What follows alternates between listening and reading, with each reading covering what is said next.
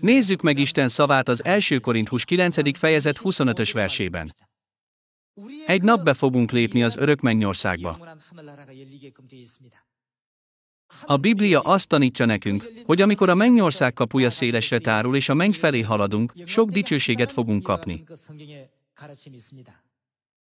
Az itt adott szavak között azt írja, hogy mindaz pedig, aki pályafutásban tusakodik, mindenben magatűrtető, azok ugyan, hogy romlandó koszorút nyerjenek, mi pedig romolhatatlant. Kétféle korona van, a romlandó és a romolhatatlan, ami örök. Ezért van megírva, hogy keményen kell munkálkodnunk, hogy megkapjuk az örökkévaló koronát. Meg kell védenünk ezt a romolhatatlan koronát.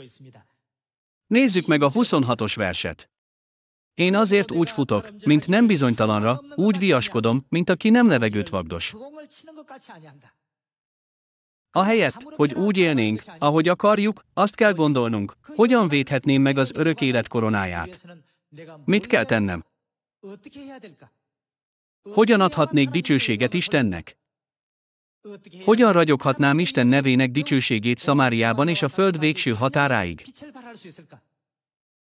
Ilyen módon el kell gondolkodnunk azon, hogy a cselekedeteinkkel hogyan örvendeztethetjük meg Istent. Milyen hiába való dolog céltalanul futni vagy a levegőt vagdosni?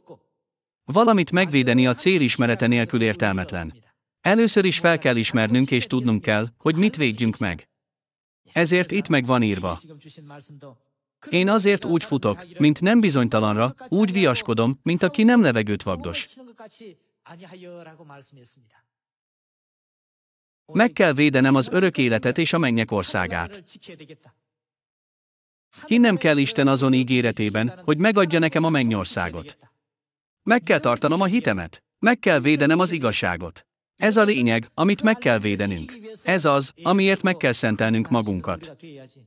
Soha ne legyünk elkápráztatva vagy megtévesztve magától a hétól, nehogy a végén elveszítsük a lényeget. Köszönöm szépen!